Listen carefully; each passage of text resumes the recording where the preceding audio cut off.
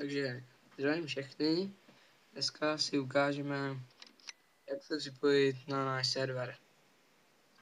Takže stáhnete to hamači, tam v tom descriptionu je odkaz, se vám tam dal. Jo, to je English, protože tam se češtinu není. Já už to mám teda nainstalovaný, takže vy tam dáte jenom install a pak dáte finish, takže já už to mám nainstalovaný. No, pak se vám to teda zapne. To zapnu, počkejte. No, tady mám network. Samozřejmě už je moje, takže vydáte potom network, join on existing network. Network ID cigáni 007. Heslo to je cigán 007. Dáte pak join.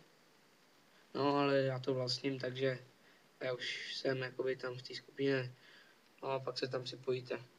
Nic víc po vás to nechce, pak jenom zapnete Minecraft a připojíte se. Si zapnu server. Server není zaplý vždycky, ale tak pro zajímavost. Většinou na večer. No, a ten multiplayer. Jo, no.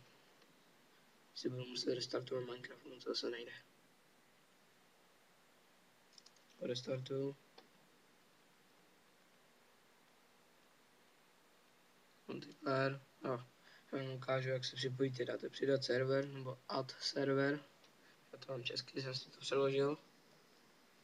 No, to si napište, co chcete. A IP adresa je 5 204 175 178. no, dáte. Připojíte se jednoduše. No, jsem tady.